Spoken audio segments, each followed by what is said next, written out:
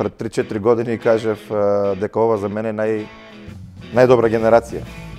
Бидејќи ова генерација се разликува многу од, од другите генерации, мислам дека оваа генерација го нема нашиот балкански македонски менталитет. Оваа генерација го има овој европски менталитет и ние имаме респект преко према секој противник, али знаеме што може да дадеме и мислам дека нова генерација и новој селектор ги го краси овој менталитет победнички, али не не балкански, не македонски менталитет, овој европскиот менталитет.